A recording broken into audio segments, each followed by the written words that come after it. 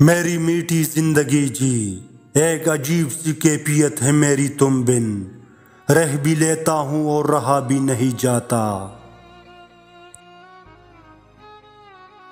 रोज महशर जवाब क्या दोगी, तुम मेरी हर खुशी के कातिल हो जाना। मैं तेरी उस दर्द भरी कहानी को कैसे भूल जाऊँ? जिसका उन्वान इश्क और नतीजा मौत है। हज़ार ऐब मेरे किरदार में हाँ मगर खुदा की कसम मैं इसके लिए मुखलिस हूँ।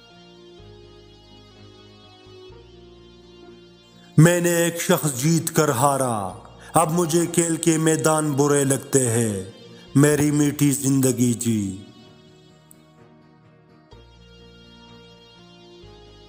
कहा से लाऊं हर रोज एक नया दिल?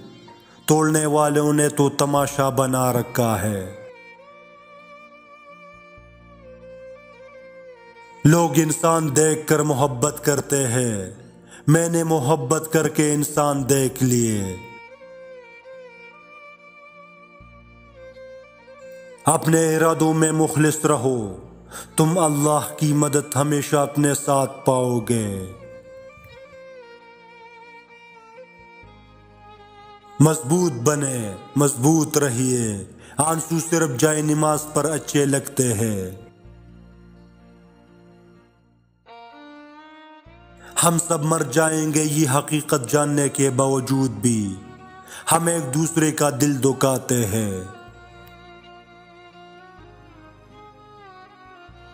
ये बात मेरी लिख ले, हमारी कदर होगी, हमारे जाने के बाद।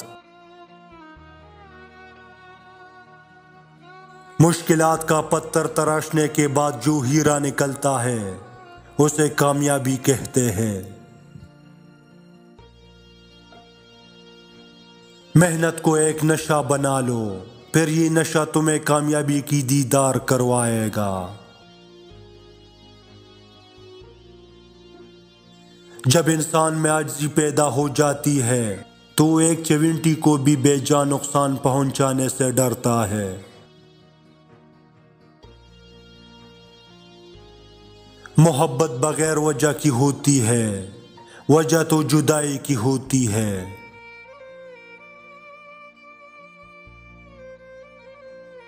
मुझे अपनी माजी का दुख नहीं है, दुख तो सिर्फ़ इस बात का है कि गलत लोगों में बहुत वक्त ज़ाया किया ज़िंदगी की उलझने शरारतों को ख़त्म कर देती है। और इंसान समझता है कि वो समझदार हो गया है। परेशानी में मज़ाक और खुशी में ताना मत दो, क्योंकि इससे रिश्तों में मौजूद मोहब्बत खत्म हो जाती है।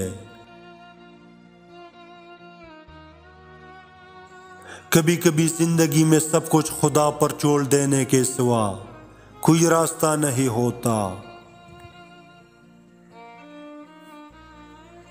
नेक लोगों से रिश्ता जोड़ने का एक फ़ायदा बताऊँ। आप भी उन अहम लोगों की दुआओं का हिस्सा बन जाते हैं।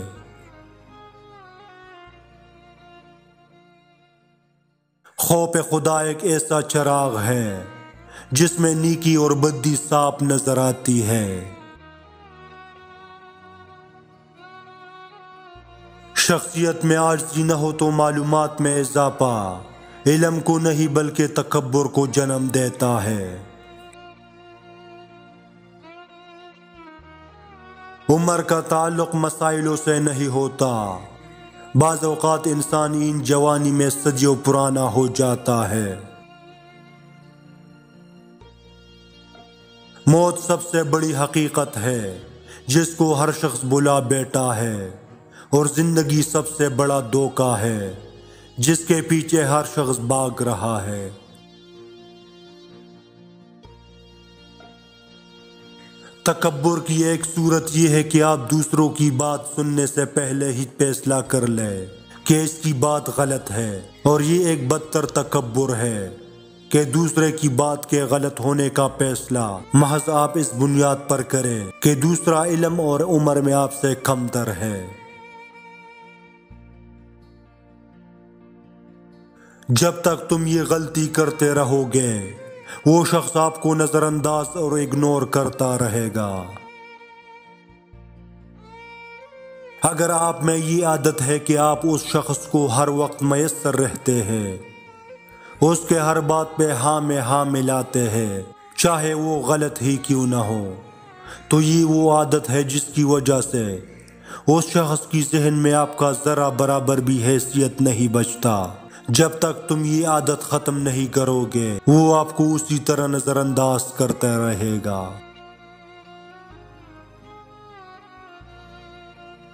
तवक्ल की निशानी ये है कि रिस्क पाने से दिल खुश न हो और रिस्क के न होने से दिल गमगीन न हो। कदर करना सीख लो, नहीं ज़िंदगी बार बार आती है और नहीं लोग।